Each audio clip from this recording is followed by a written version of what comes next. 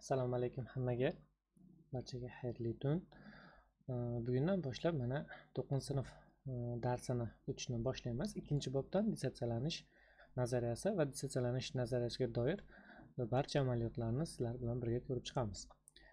Demak dissotsialanish o'zi nima degani? Dissotsialanish nazariyasiga dastlab ariyunus va e, mendeleyev degan olimlar o'z nazariyalarini berishgan va ularni birlashtirib kablukov umumiy bitta dissotsialanish nazariyasi elektrolitik dissotsialanish nazariyasini keltirib chiqargan. Dissotsialanish nazariyasi va unga doir masalalarni tushunish uchun sizlar birinchi moddalarni ikki turga ajratib olishni e, bilishlaringiz kerak. Demak e, har qanday moddalar ikki turga bo'linadi. Ya'ni ular elektrolit elektrolit va elektrolit maslarga bo'linadi.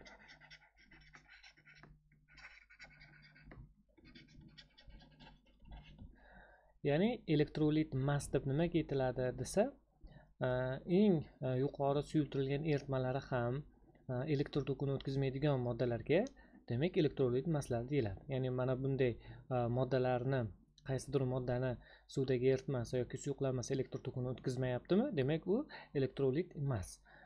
Demak qaysidir moddani eritmasi yoki suyuqlanmasi elektr tokini o'tkazyaptimi? Demak u elektrolit deb hisoblanadi. Elektrolit elektrolit emaslarni masalan mana bunday holatda aniqlab olishlari mumkin. Misol uchun birorta eritmani solindi qaysidir eritma berilyapti va bu er-, eritma orqali demak elektr toki o'tkaziladi.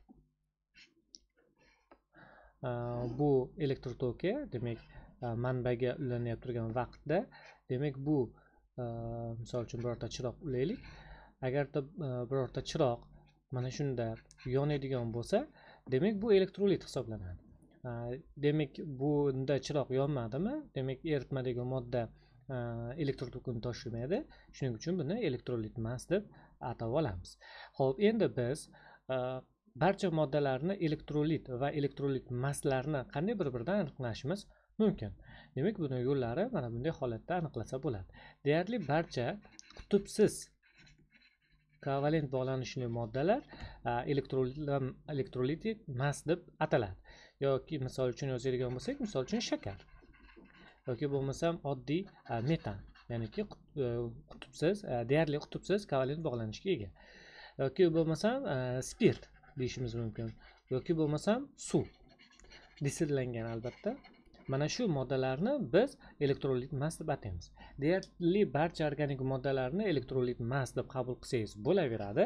Faqat organik moddalar ichida ham elektr tokini e, tashish xususiyatiga ega bo'lgan moddalar bor.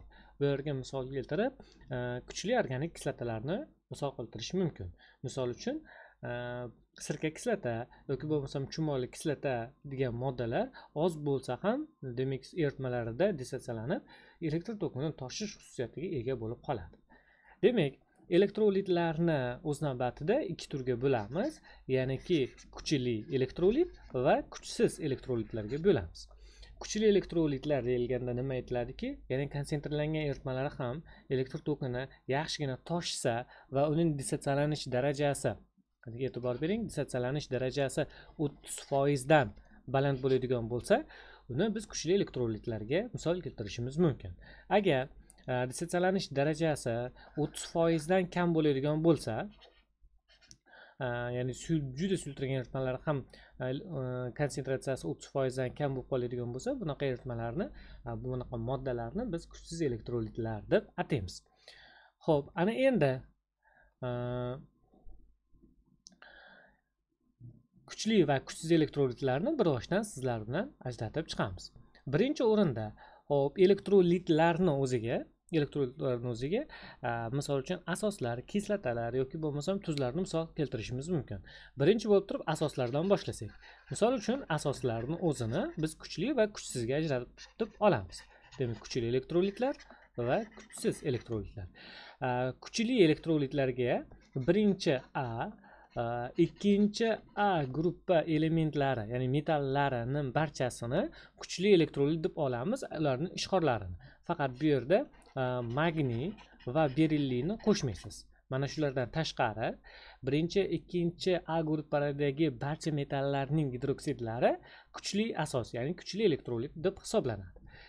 E, demak ularga misol yozadigan bo'lsak misol uchun kaliy gidroksid litiy gidroksid yoki bo'lmasam natriy gidroksid va hokazo. Endi mana shu birinchi ikkinchi gruppaga kirmay qolgan barcha e, metallarning gidroksidlari va shuningdek ammoniy gidroksid ham kuchsiz e, e, asos hisoblanadi. Ya'niki kuchsiz elektrolit misol uchun masalan temirni ikki gidroksida deymizmi yoki bo'lmasam temirni uch gidroksida deymizmi? Demak bularni biz kuchsiz elektrolit hisoblab olishimiz kerak. Demak o'zi elektrolitik dissotsialanish nazariyasida ariyunusni fikricha ya'ni asoslar mana bunday ta'riflangan.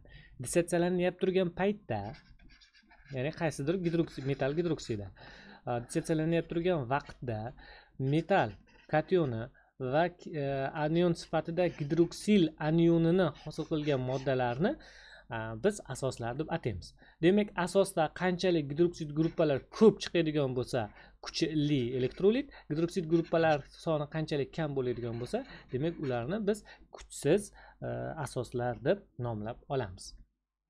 Arioniusni fikriga ko'ra kislotalar deb nimaga aytiladi?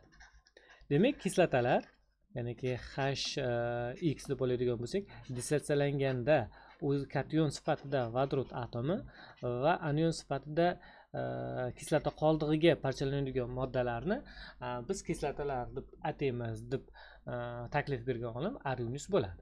Demak kislotalar ham kuchlilarga bo'linadi va kuchsizlarga bo'linadi. Endi kislotalarni o'zi ham e'tibor bersalari ikki turga bo'linadi ya'ni kislorodli va kislorod siz. Mana shu kislorodli kislotalarni ichidan kuchlilari bor. Kuchsizlari bor. Kislorodsiz kislotalarni ichida ham kuchlilari bor va kuchsizlari bor. Masalan kislorodsiz kislotalardagi kuchlilarga misol keltiraman. Vodorod xlorid vodorod bromid va vodorod yodid mana shu kislotalar kuchli. Bundan boshqa barcha Э, kislorodsiz kislotalarni kuchsiz elektrolitga olishingiz mumkin. Chunki bularni soni juda ko'p. Hammasini ham yozib chiqishga ulgurmaymiz. Lekin kuchlilar e, sanoqli mana shularni o'zini sanab berasiz xolos. Misol uchun vodorod ftaridni o'zi kuchsiz elektrolit yoki bo'lmasam vodorod sulfid yoki bo'lmasam vodorod selenid yoki bo'lmasam e, boshqa masalan e, sianid kislota deymizmi yoki boshqa kislota deymizmi kuchsiz elektrolitga hisobga olib ketasiz. Kislorodsiz bo'lgan vaqtdagina mana bu uchta kislota kuchli deb hisoblasangiz detem testlarida umuman adashmaysiz.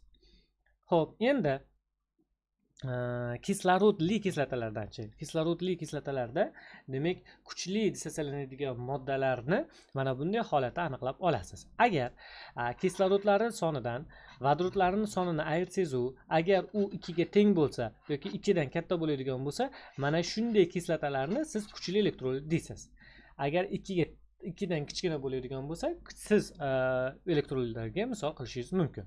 Misol uchun karbonat kislota kuchsiz elektrolitga kiradi.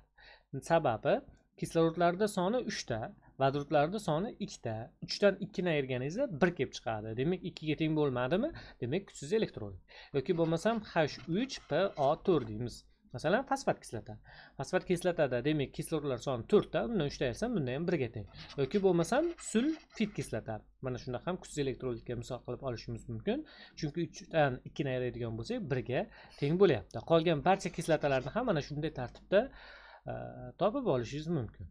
E, kuchli e, kislorodli kislotalarga misol uchun sulfat kislotani hisoblasak bo'laveradi. Sababi demak to'rtdan ikkini ayirganimizda Э, ikki kelib chiqyapti demak kuchli elektrolit. Yoki bo'lmasam э, hash xlor o tur ya'ni perxlorat kislota to'rtdan birda ayiradigan bo'lsak uchga teng kislorod e, kislorodli kislotalardan demak kuchliga kirar ekan. Э, demak mana shunday holatda ketaverasiz. Demak kislotani kuchiga qarab dissotsialanish darajasiga qarab turib unga biz ta'rif beramiz. Kuchli kislota bo'lsa demak u kuchli elektrolit. Kuchsiz kislota bo'ladigan bo'lsa demak u kuchsiz elektrolit hisoblanadi. Ya'niki kuchli elektrolit sulfat kislota deganimizda demak sulfat kislota dissotsiyalanib turgan paytda sezilarli darajada ko'proq vodorod ioni eritmaga o'tadi. Qolgan kislotalarda esa demak vodorod ioni kam ajralib chiqqanligi uchun biz ularni kuchsiz elektrolitlarga misol qilib olamiz. Endi Э, siz aytishingiz mumkin boshqa moddalarchi. Masalan oksidlar yoki bo'lmasam boshqa moddalar deyiladigan bo'lsa. Oksid masalasida biroz hushyorroq bo'lishingiz kerak. Misol uchun aytyapti oltin gugurt olti oksidi oltin gugurt olti oksidi suyuqlanmasi aslida elektr tokini toshmaydi. Lekin agar buni e, suvda eritsak nima hosil bo'ladi? Sulfat kislota. Sulfat kislota esa e, kuchli elektrolitga misol keltiradi. Demak mana shu yerda adashmasligingiz uchun yana bir bor qaytarib o'taman. Oksidlar deyarli kuchsiz elektrolit. Ya'niki oksidlar e, oddiy sharoitda demak eritma holatida bo'lmaganda ular elektr tokini o'tkazmaydi. Lekin e, ularni eritmalari kuchli elektrolit bo'lishi mumkin.